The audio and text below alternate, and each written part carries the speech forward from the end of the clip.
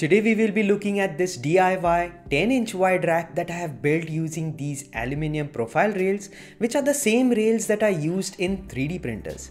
I wanted a rack that was 50 centimeters in height, 20 centimeters in depth and allowing 10 inch rack mounts to be mounted on it. So I bought this in 50 centimeters, 25 centimeters and 20 centimeters in length. Now to join these rails, I made use of these angle connectors to make two rectangular frames, one for the front and one for the back, making sure it measures about 26 centimeters in total width, including the rails such that the 10 inch rack mounts would fit perfectly in it and I can attach the rack mounts using the screws. Now these angle connectors can slide in one side and the other side is fixed which gives the flexibility to adjust the rack as I wanted.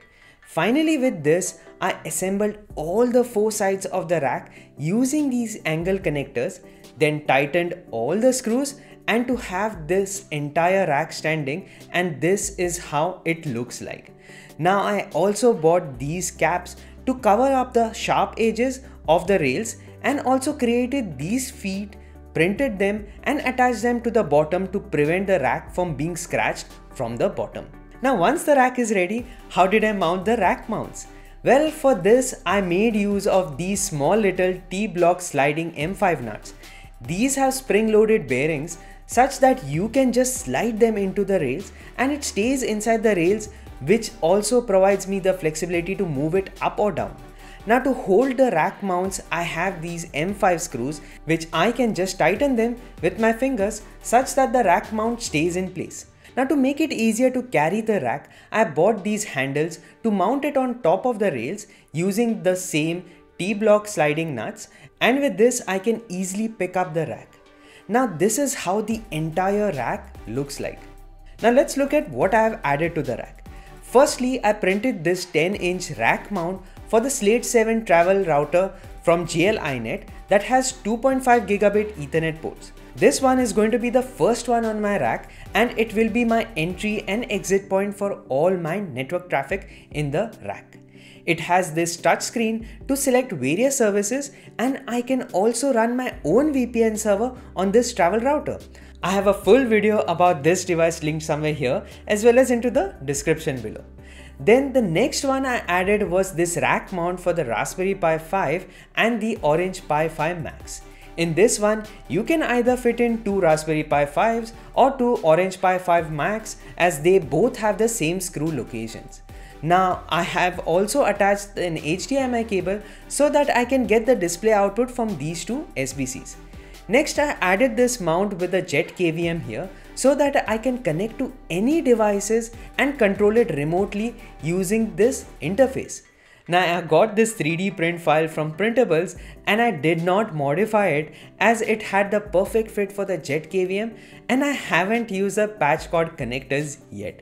After this, I added the 8 port Netgear switch to which I will be connecting all the devices on the rack.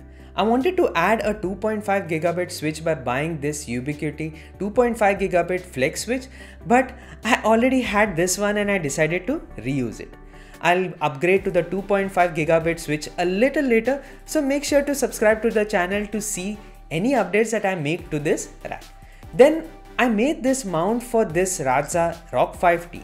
It has an octa-core ARM-based processor with dual 2.5 gigabit Ethernet ports. I have a whole video about its performance on my channel.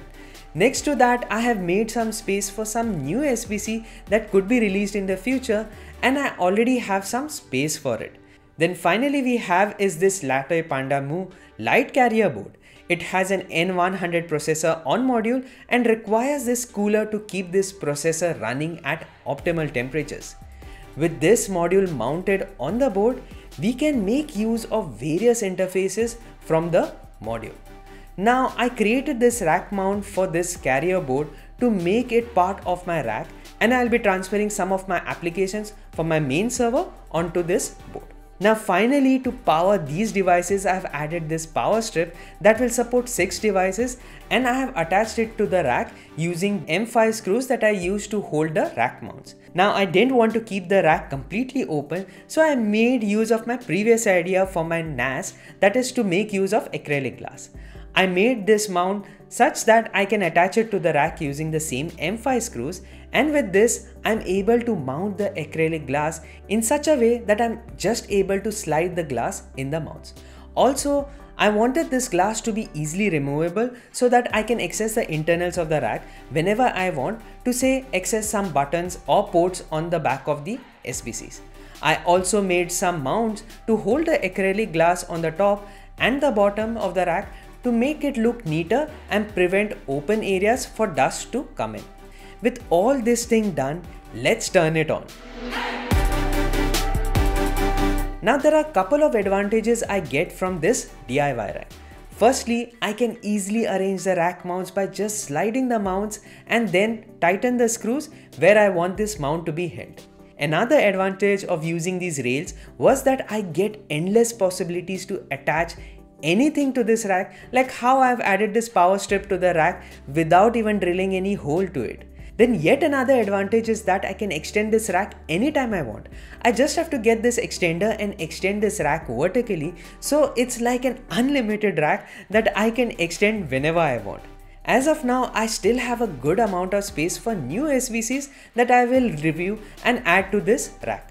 Now I have a detailed article in the description below with all the components and the measurements of the rack and the 3D print files that I have created such that you can make use of it to build your own DIY rack.